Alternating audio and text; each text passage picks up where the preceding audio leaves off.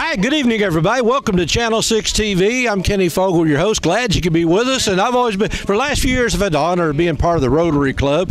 And, uh, and, the Rotary Club does a lot of things throughout the year, raising money, and uh, but it also gives out a lot of money. And one of those things, as far as a community outreach, is uh, is Kids Day. And I've got Don Bresnahan here with me right now. And Don is the uh, head honcho for uh, Kids Day. So Don, welcome, welcome to the show. Well, thank you, Kenny. I wouldn't call me the head honcho, but uh, a lot of a lot of burdens fell on my shoulders. Well, that's head honcho, in my We- that's my We get definition. a lot of help. We got a lot of help from the Rotary, and we get a lot of help from the kids. Believe it or not, a lot of the high school kids throughout Nelson County, they'll be here before the day's over, helping us, supporting on uh, various functions that we got going on. Well, they've been doing this for 20 some years, as I know of, and uh, and basically, what what what do you got going on here? Well, the neat thing about this, and what I, I think is so cool, is it's free. It's absolutely free to any child that lives in Nelson County. Uh-huh. We've got five moon bounces, uh, uh, inflatables out here. We've got ice cream. We got p- face painting.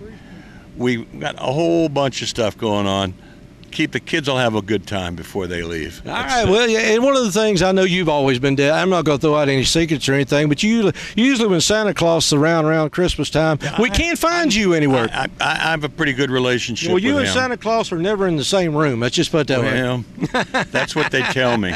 Anyhow, he's he's a pretty good guy, and, and he I talked talked to him the other day, and he's looking forward till uh, rolling into Bardstown for uh, light up and uh, Christmas parade and visiting with all the Well, kids. this is sort of an early Christmas present to kids that you're doing here. I mean, it's a lot of work. I mean, I know what you're going through. I've, I've been around it before. Well, and, I uh, just looked across the way. I got we got the Boy Scouts coming in. They'll be here late, late uh, soon, and they got a big uh, rope walk that is pretty cool. We that it gets to be very popular as the day goes on, as well as the inflatables. and you do this every year, do this every year. right before spring uh, or fall break, I guess. Third Thursday in September before the fall break. Okay, so that's a great time. People, kids are getting ready to go on fall break, and they get to come up here. And every kid in Nelson County can come. It's free. Actually, we don't even check see if they're from Nelson County. They might even slip one in from Washington County every now and then. We don't check IDs, but if you're 13, I'm gonna look at you real hard. There you go. Say, I don't think you ought to be in here, dude. Yeah, well, some of these bouncy we don't houses. Me and you might get one of them bouncy houses after a go. while. We'll see how that works. Well, I appreciate you stopping by. Let me look over here and ask Tommy. Oh, you slip over here just a second or two. Uh,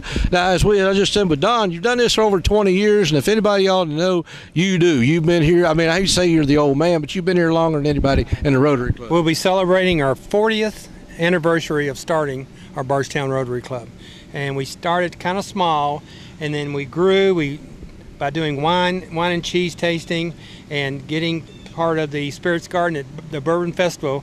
We started increasing the funds that were available to do things, and rather than always do something that's alcoholic related, we we decided, like I said, it's been about 25 years or so ago, that we need to give back to the community. The community has been so good to us that it's time to give, make sure we give back. So we'll be spending about 15, 1600 dollars today, giving away the free ice cream, face painting, everything's free, and uh, the parents really they say thank you, and like I said, uh, we're appreciated for this event.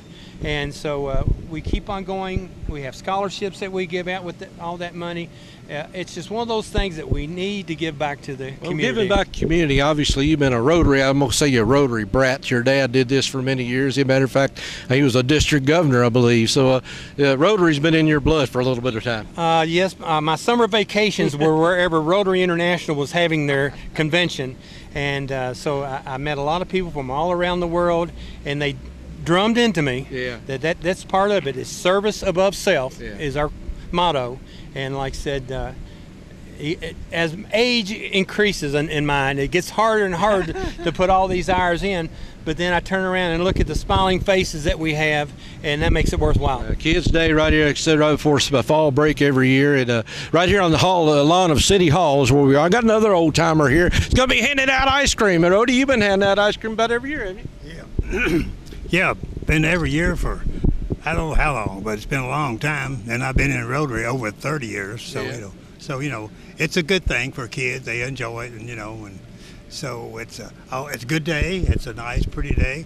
Just dry. and We need rain, but anyway, uh, but a lot of kids that show up and they'll have fun here with bouncy. We got five bouncy houses here, so we got plenty for the kids to do. All right, we got Rody Wheeler, Tommy Reed, and Don Bresnahan. Tommy. One more thing, I just again, we've been doing this, like I said, a long time. The city of Bardstown has been very gracious, allowing us to do this on, on the lawn. They supply the electricity, have these boxes set up and everything.